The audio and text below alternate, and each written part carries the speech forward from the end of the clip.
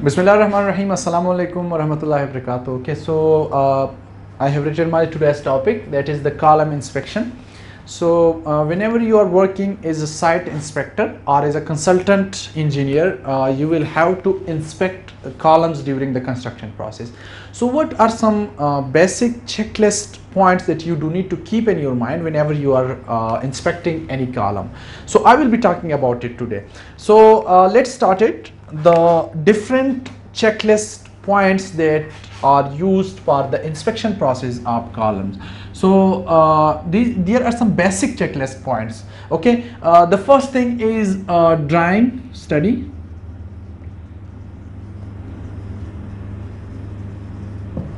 This is the basic uh, rule or this is the basic point for all types of inspection. Whenever you are inspecting a beam columns or slabs or foundation whatever it is you will have to study the drawing before inspecting that uh, that specific uh, member whatever it is. Because the reason is uh, because without study any uh, without studying any type of member you cannot explain that whatever it is uh, it uh, is in that uh, design okay so study the drawing before the inspection process. The number second is whenever you reach the site okay you have reached the site. So the first thing is check quality of steel. And how do we check the quality of steel? There are the rules. That is the uh, you will have to study the uh, tensile strength report. The number second is the bend strength report. And the number third and the last one is the appearance of the steel okay how does this looks? If it is up not a blackish color then there is some sort of impurity in that simple uh, rebar. Okay so uh, there might be some rusted steels uh, that that are going to be used in the columns. So you are not going to allow it if, if uh, okay let me write it rust okay? So if this is not available you cannot check the columns. If this is not available you cannot check the columns. If, and if, if there is some sort of rusting rusting uh, then you cannot check that uh, column. You cannot allow the columns to be concrete powder okay? So all these must be okay and you are going to allow the columns to be or you can say the quality of steel is okay okay? Now uh, the second point uh, whenever you reach the column site is you will have to check the uh, height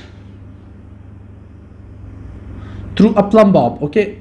Plumb bob is some sort of uh, mm, leveling uh, apparatus you can say it. Whenever you go to a site you will see it. Or if you would have seen it you have to check the plumb bob okay? And a plumb bob uh, plumb uh, for plumbing process i will show it to you on site any day. Uh, but for plumbing phenomena or the plumb bob uh, phenomena this equality is checked. That whether the difference between this top and this plumb bob at this point and at the end point is it equal or not? If it is equal then it's okay. And if it is not equal you have to make it equal on all sides okay? This is uh, another uh, point that you'll have to keep in your mind whenever you are uh, uh checking the quality or the columns inspection process okay?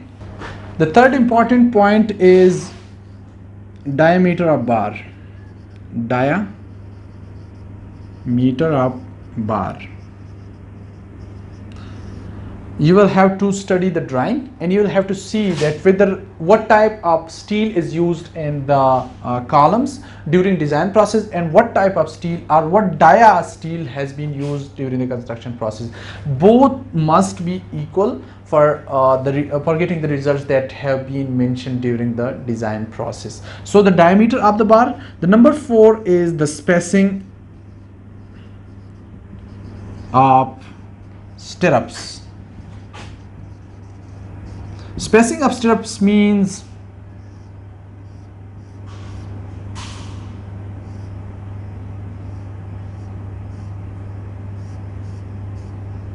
okay this is the distance between two stirrups and as I have explained in one of my lecture that at zone B or at lapping zone the spacing shall be less than at zone A or the normal zones. So you will have to check this spacing one by one between different types of stirrups that is it equal or not? It, it might be like uh, I will call it 5 inches or 6 inches or whatever has been given in the design. So you will have to check the spacing between these two uh, all the stirrups between uh, the columns okay? The rule number fifth is the splice length or the lap length. What does lapping mean? If, if reinforcement is coming from the bottom story, then we will have to lap it with uh, another reinforcement from the top story. So the length of this bar is, uh, is called as lap. So you will have to check the lap. Normally this is given is 50D which is 50 into diameter of the bar that has been used in this lap. So 50D is the, uh, the rule for the splice. So you will have to check the splice length that whether it is given is per the design drawing or not. And this is an important point for all the structural engineer then the splice length shall be equal to is per the given drawing. And it it must not be much more than the design drawing because this makes the structure over reinforced and we all know that over reinforced structures are not allowed during the construction phenomena. The number six and the last position uh, the last question is the hook length. Do you know what is hook? A hook is the length of the ties. This this is what we call the hook.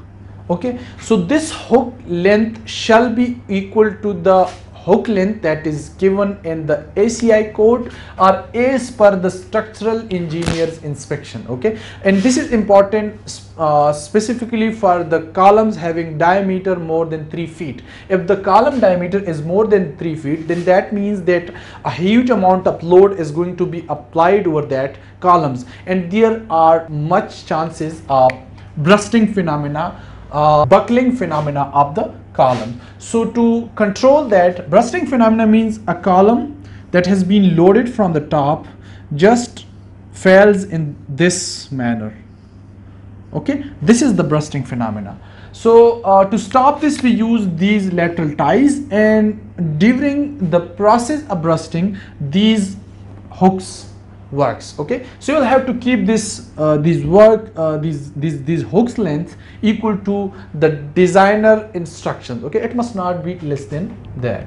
So uh, these were some of the important point. One one last point that is important is the concrete cover okay? Cc concrete cover is also an important phenomena. Uh, for equal concrete cover shall be on both sides of the column. So uh, concrete cover uh, must be checked and, and for the con uh, OK concrete cover we use the concrete spacers.